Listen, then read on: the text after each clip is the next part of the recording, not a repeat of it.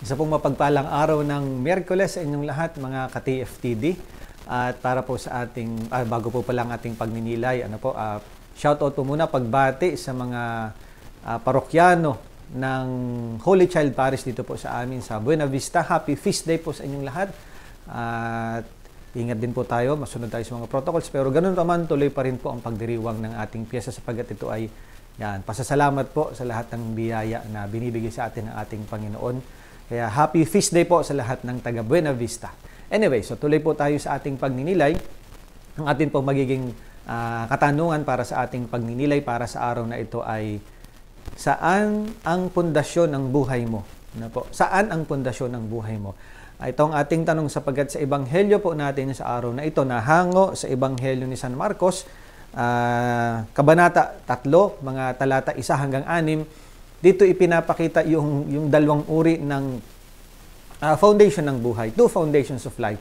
Ano yung dalawang uri ng pundasyon na ito? Yung una, yung pundasyon na nanggagaling sa mga uh, pariseyo, mga eskriba. Siyempre, yung pundasyon na nanggagaling naman sa ating Panginoong Hesus. Sapagat dito, uh, sa Ebanghelyo ay merong binabantayan yung mga pariseyo na Uh, kasi mayroong papagalinging tao ang ating Panginoong Hesus. At doon nga, nandun naman yung question ng mga eskriba at pariseyo na kung pagagalingin ba ni Jesus yung taong ito sa araw ng pamamahinga. Pero alam naman natin ang kwento.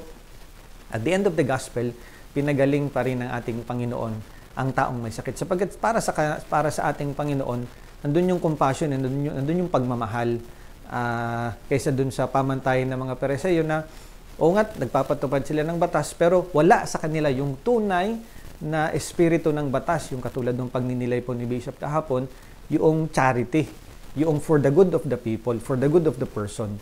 So mga kapatid, dito na kaya sabi ko nga kanina, dito natin makikita yung dalawang uri ng uh, yung pundasyon ng buhay. Yung una sa mga eskriba at pariseo at yung isa yung sa ating Panginoong Hesus. Eskriba at pariseo, siyempre alam naman natin, nandun yung pagiging mapagmataas. Oo nga, Talagang magaling sila sa, sa batas.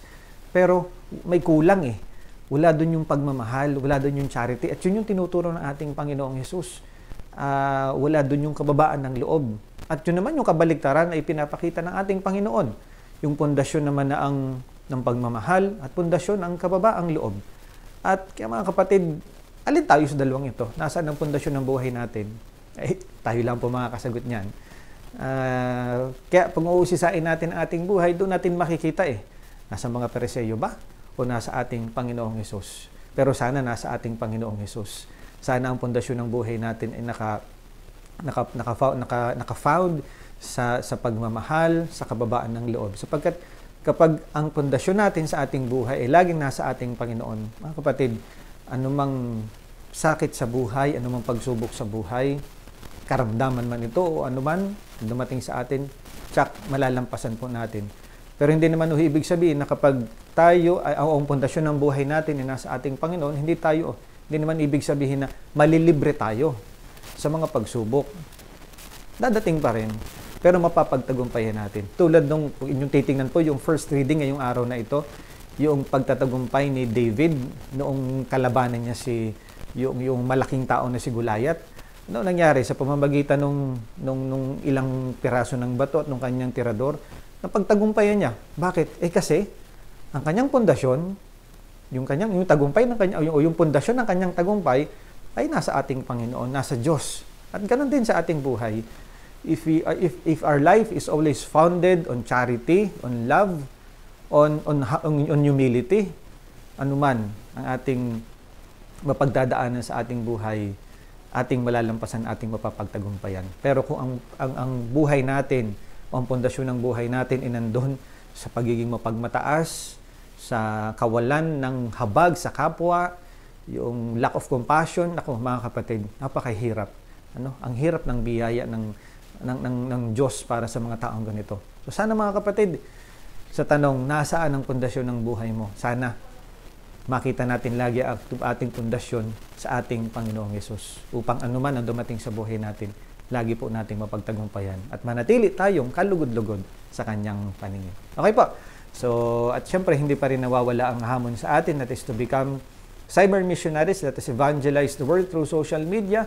So please like and share ang aming pong page. Ganun din po ang ating Instagram at Thought for the Day at ang ating YouTube channel, TFTD Blessed and Blessing. At syempre, pagbati po ng happy birthday sa uh, mga kapatid natin sa Apostolado ng Panalangin, kay Sebastian Roldan at kay Tita Digna Montes. Happy birthday po. Ganoon din po sa isang kasama ko dati sa seminaryo, si Marlon Lagustan. Ganoon din po kay Jan Rosas, kay Mary Conlinga, kay Jeff Jacinto, kay Rose Dayan Modjong, at ganoon din po kay Noel Nieva na nagdiriwan ng kanyang 50th birthday.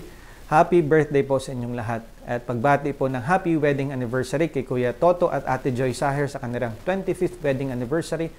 At ganun din kay George, uh, kay Kuya George at Ate Doris sa punto sa kanilang 38th wedding anniversary. At of course, happy feast day po ulit sa lahat ng parokyanan ng Holy Child Jesus Parish, sa kanilang parish priest, kay Father Sat Riveros at sa kanilang katuwang na pari, si Father Christian San Juan. Men. And of course, ang paghiling pa rin po ng panalangin, paghiling pa rin ng panalangin para sa lahat po ng COVID patients, sa lahat ng nagre-recover sa COVID at sa lahat po ng yumao dahil sa COVID na ito. Prayers pa rin po sa lahat ng frontliners na talagang nagsisikap uh, na manguna sa pagsugpo sa pandemic na ating kinakaharap pa rin hanggang ngayon. Of course, ang lagi ho nating tatandaan, always be blessed and be a blessing. Magandang araw po and God bless sa inyong lahat.